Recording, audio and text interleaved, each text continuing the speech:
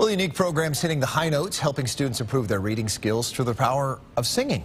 And it's what's right with Tampa Bay.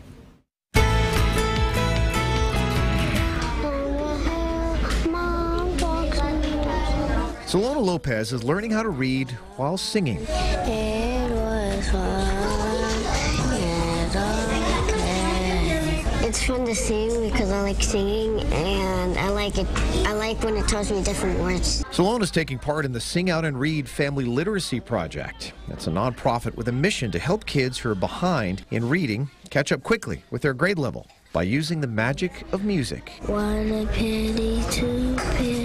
There's a whole bunch of good things that happen with music in the brain that helps uh, children remember, and adults too, uh, remember what it is they're reading and seeing. Just sit in his seat. Victoria Klug is a former fifth grade teacher and now teaches first grade at Dunbar Elementary. What I found is that children are missing the phonics and they're coming to me in fifth grade reading on a first grade level. And they're not able to access the instruction that is provided to them in the general education classroom. Carlo Franzblau, founder of Sing Out and Read, says more than two thirds of third graders are not reading on their level. And he's determined to improve those numbers with notes. If you can't read, you can't succeed.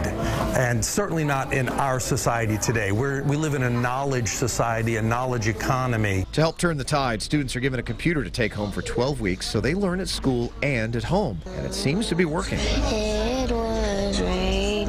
It was raining. What I have found is with Sing Out and Read, it helped bridge the gap between students reading two or more grade levels behind and then being able to sort of catch up.